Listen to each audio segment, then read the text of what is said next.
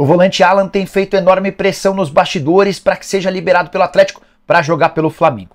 E essa vontade e pressa do volante não tem a ver com o fato de São Paulo treinar o rubro-negro, nem o fato de o time ser o mais popular do país, muito menos com a chance de morar no Rio de Janeiro. O Alan está pensando na parte financeira.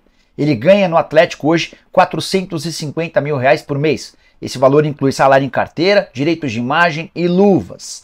Rubro Negro ofereceu ao Alan 800 mil mensais e a chance de praticamente dobrar seus vencimentos com uma curiosidade. Mesmo com 800 mil por mês, o Alan vai estar bem distante dos maiores salários do Flamengo. O Rubro Negro tem hoje pelo menos 10 atletas que ganham acima de um milhão de reais por mês.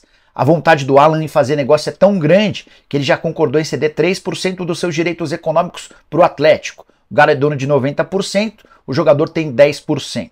A última oferta do Flamengo aproximou os dois clubes de um acordo. O Fla ofereceu 7 milhões e meio de euros fixos, mais 1 milhão e meio de euros em bônus, esses bônus atrelados a títulos do rubro-negro, e aí que o bicho pegou. O Atlético não se sentiu confortável em ter de torcer para o rival em competições em que eles se enfrentam para ter direito a esse bônus. Se essa história for resolvida, a tendência é que o Alan se mude para o Fla em 3 de julho. Antes de encerrar, só contar um papo que eu tive na manhã dessa sexta-feira com um dirigente atleticano. Ele falou que o Galo não tem pressa e só vai vender o Alan se o Flamengo chegar às cifras pedidas.